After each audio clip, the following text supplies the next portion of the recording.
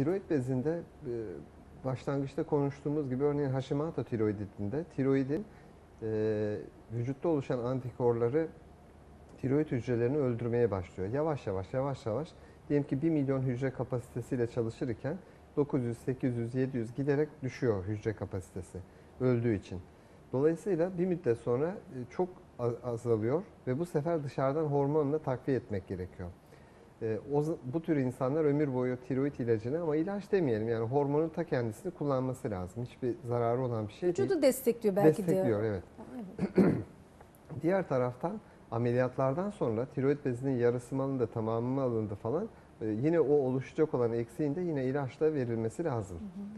E, Ama hepsinde mutlak ilaç kullanımı gerekiyor diye bir şey yok.